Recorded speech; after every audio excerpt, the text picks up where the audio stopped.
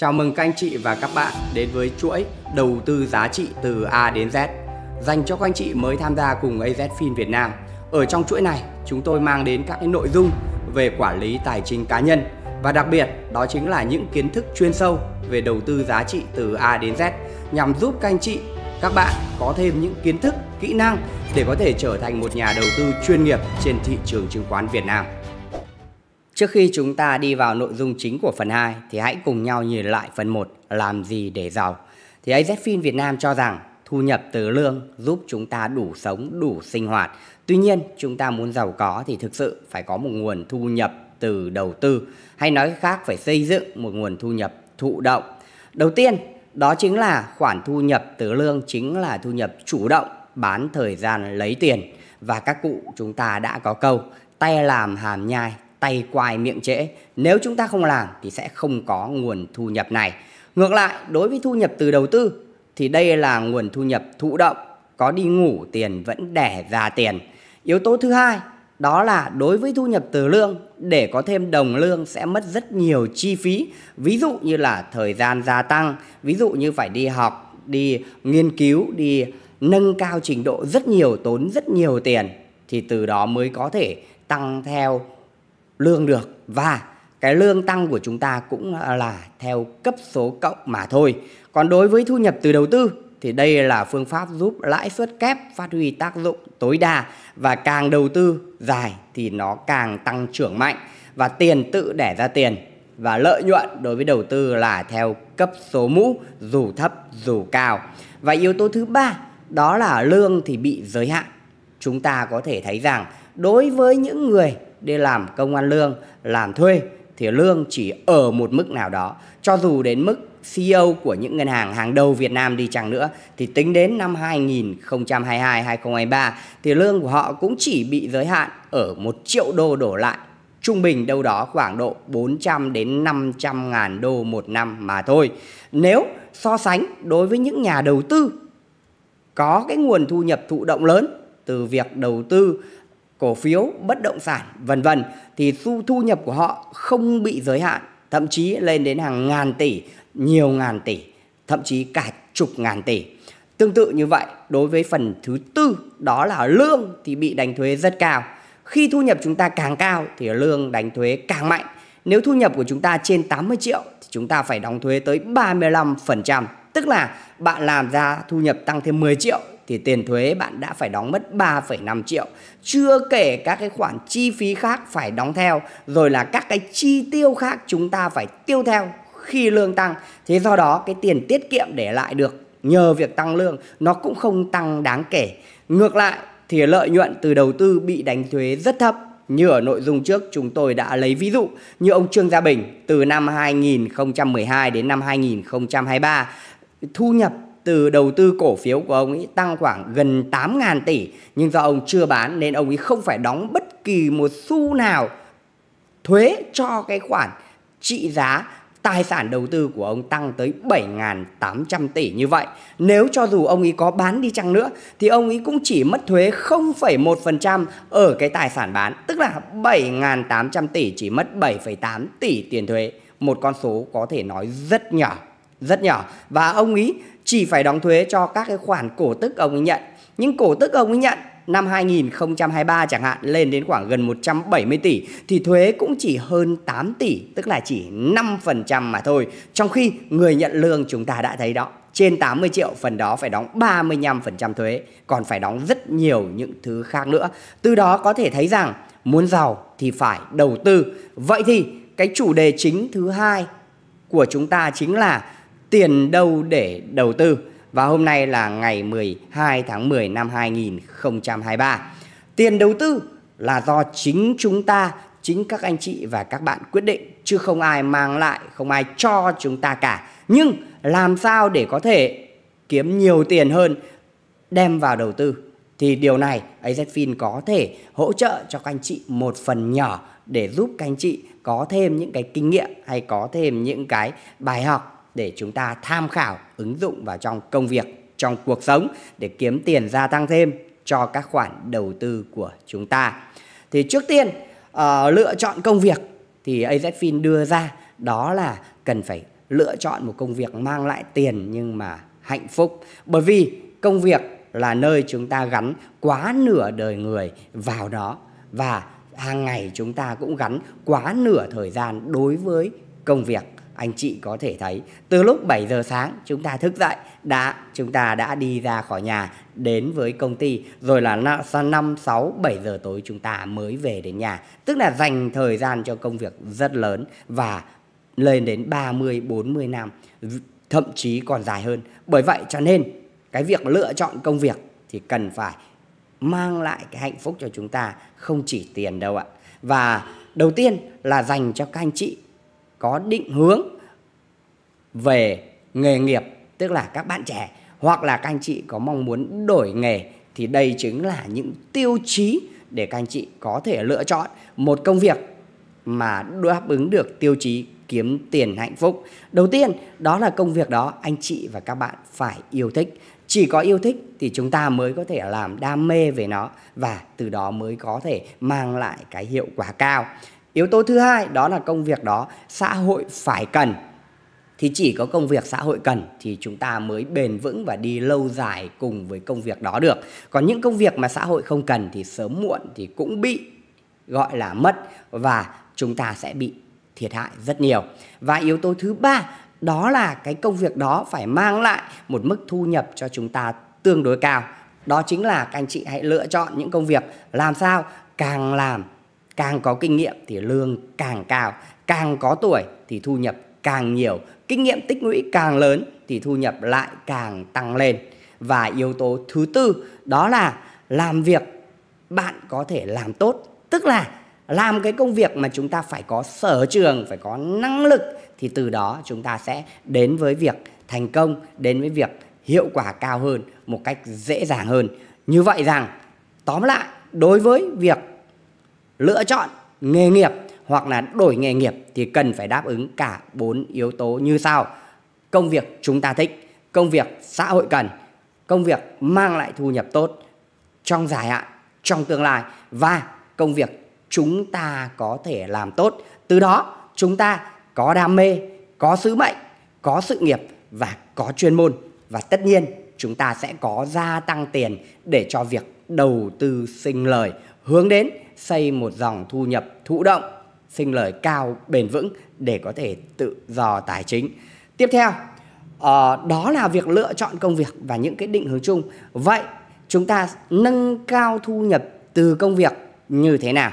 AZFIN cho rằng đó là cần phải trở thành chuyên gia trong lĩnh vực của mình hoạt động thì từ đó mình mới có thể có được thu nhập cao hơn.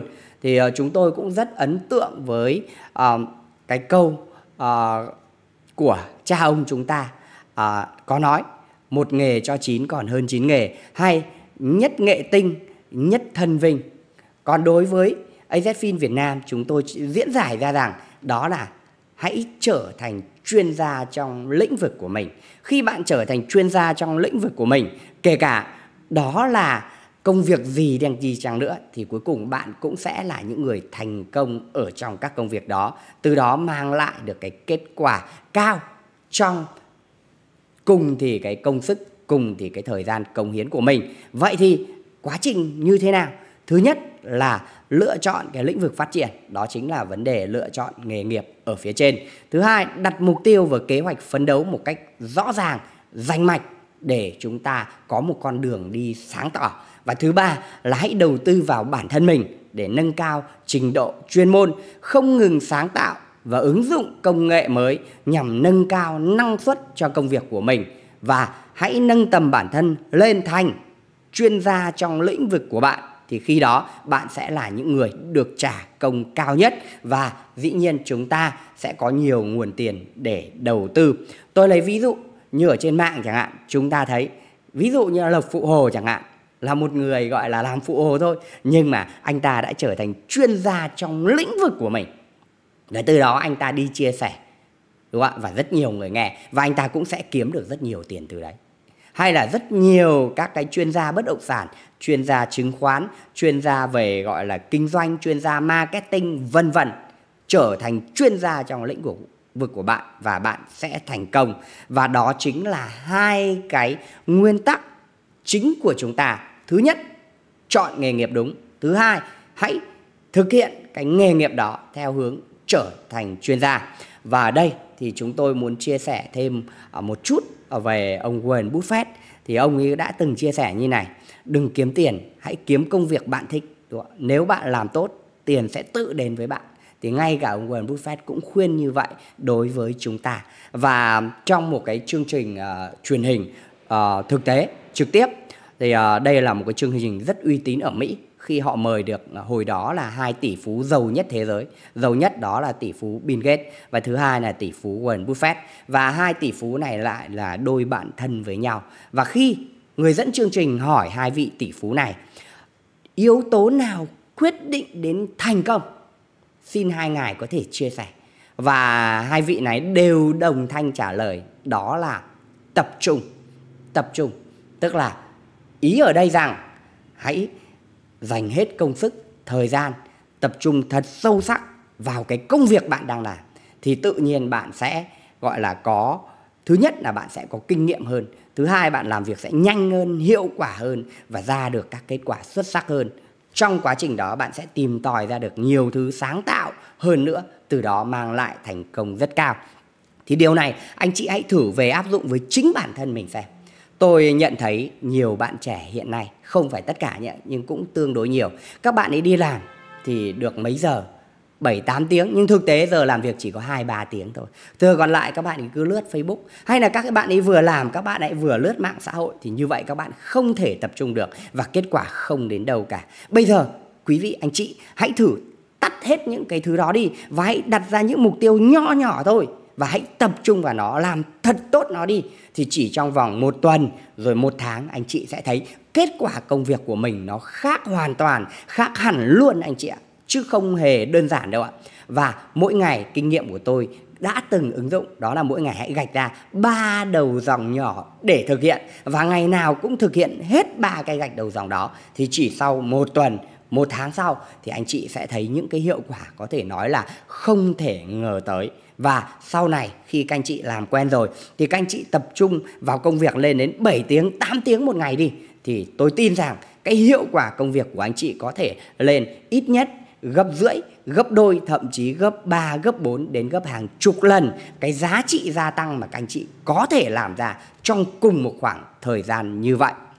À, tiếp theo thì tôi cũng muốn à, kể với các anh chị một cái câu chuyện à, mà liên quan đến cái tư duy trong công việc. Đó là câu chuyện về hai người đảo than. Thì à, câu chuyện kể như sau: một người à, nghèo thì à, than với trời, than với thượng đế rằng sao lại bất công như thế Chúng tôi làm ăn vất vả cả ngày, cuối cùng vẫn không đủ ăn. Vậy mà những người giàu kia thì họ lại sung sướng như thế. Họ lại ăn trắng mặc trơn, họ lại đi xe xịn, họ mặc quần áo đẹp, họ chi tiêu cứ ầm ầm mà họ vẫn dư giả tiền, họ đi chơi đây đó vân vân. Thì uh, thượng đế mới hiện lên và hỏi: "Vậy thì anh muốn ta phải làm như thế nào?" Thì anh chàng nghèo này mới bảo: uh, Ờ, thượng đế thử cho những người giàu ấy, nghèo như tôi sau một thời gian xem xem người ta có liệu có thể trở lên giàu có hay không. Người ta chẳng qua là may mắn thôi, sinh ra trong con nhà giàu thôi. Và thượng đế đã ngay lập tức đồng ý với anh chàng nghèo này và cho hai người làm một công việc. Đó là thượng đế cấp cho hai anh này, mỗi anh một quả núi có than và một căn nhà để ở và bảo một tháng sau ta sẽ quay lại, ta xem xem như thế nào. Và đối với anh chàng nghèo kia, thì anh ấy xúc than rất khỏe. Anh xúc nhoáng cái anh đã được một xe than và anh ấy mang đi bán. Có được tiền trong tay, anh ấy mua những thứ thức ăn anh ấy yêu thích, những thứ thức ăn ngon mà trước đây anh không có được. Và anh tiêu hết số tiền của mình đi. Hôm sau anh ta lại dậy rất sớm và đào than rất chăm chỉ và cũng được rất nhiều than. Và anh ta lại mua hết những đồ ăn ngon, thức uống tốt, những cái thứ anh ta yêu thích. Và cứ thế ngày qua ngày, anh ta làm được bao nhiêu và anh ta tiêu hết bấy nhiêu. Ngược lại, anh chàng giàu kia thì do là người làm uh, văn phòng quen. Uh, thành ra anh ta đào than rất là mệt mỏi rất khó chịu. Cứ đào được một chút lại phải nghỉ. Thì uh, tốc độ đào than của anh ấy thậm chí còn không bằng nửa anh chàng nghèo kia. Đào hì hục đến tận đêm anh ta mới được một xe than. Và thế là anh ta đẩy đi ra chợ bán. Khi bán được một lượng tiền thì anh ta chỉ trích ra một phần nhỏ thôi để anh ta mua những cái đồ ăn thức uống thiết yếu nhất cho cơ thể còn phần còn lại, anh ta tiết kiệm. Và sáng ngày hôm sau, anh ta dùng cái số tiền tiết kiệm được đó, anh ta ra chợ, anh ta thuê lấy mấy người lao động tự do về đào than cho mình. Thuê lấy hai người lao động tự do đào than cho mình. Thế là hôm sau, anh ta lại bỏ dư ra được những số tiền gấp 3 gấp 4 lần hôm trước. Tiếp tục hôm sau nữa anh ta lại thuê tiếp đó là 5 6 người công nhân lên đào than cho mình và sau khoảng độ một tuần thì anh ta đã tiết kiệm đủ tiền, anh ta đi thuê máy xúc, mua máy xúc để xúc than bán cho năng suất. Sau nửa tháng đào than vô cùng hiệu quả và mang lại một khoản tiền lớn trong tay, anh chàng này mới nghĩ rằng chúng ta phải để cho tiền đẻ ra tiền, đào xong than thì làm gì? Khi nghiên cứu xung quanh anh ta nhận thấy rằng sông núi thì rất là đẹp, phong thủy thì hữu tình. Bởi vậy cho nên anh ta nghĩ ngay đến cái câu chuyện đó chính là xây dựng khu du lịch sinh thái ở nơi đây từ một phần số tiền anh ta đào than kiếm được. Bởi vì xu hướng hiện nay, những người thành phố rất thích về những cái vùng ven để có thể nghỉ dưỡng và đặc biệt họ rất thích gần với thiên nhiên. Thế là anh ta bắt đầu vào làm dần dự án của mình. Và chỉ sau một tháng, bụt đã hiện lên và nói chuyện với hai anh này, bây giờ thì anh chàng người nghèo mới vô cùng tâm phục khẩu phục và tự thừa nhận rằng mình nghèo là xứng đáng. Thì trên đây chính là một câu chuyện rất ý nghĩa của hai người đào than. Anh chị có thể rút ra được bài học đáng suy ngẫm nào, ứng dụng vào bản thân mình để có thể gia tăng thu nhập của bản thân, mang tiền đó đi đầu tư hay không? Hãy để lại comment những cái bài học đó với chúng tôi để chúng ta cùng trao đổi và làm sâu sắc hơn để giúp anh chị phần nào có thể gia tăng được thu nhập trong đầu tư. Xin chào anh chị, hẹn gặp lại anh chị ở phần tiếp theo.